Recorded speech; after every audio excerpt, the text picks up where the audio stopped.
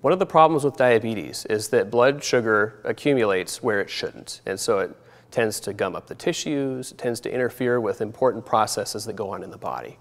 There are ways to treat diabetes that involve essentially soaking up this blood sugar and reducing the amount that's freely floating around in the body.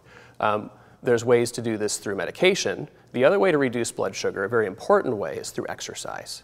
So, of all the risk factors for diabetes, and there are many of them, uh, the most common risk factor is being overweight. So, one of the things that we teach patients is that they don't necessarily need a gym membership, that they can go for a walk, they can do gardening, they can vacuum.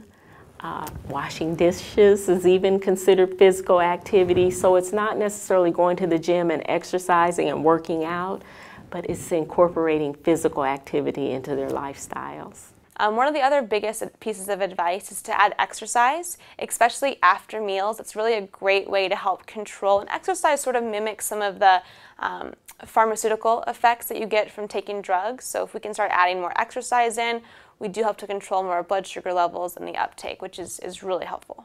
They wouldn't call it exercise if it wasn't hard work. Uh, ultimately, I hear a lot from patients that it's hard to budget the time, it's hard to find the resources to do the exercise.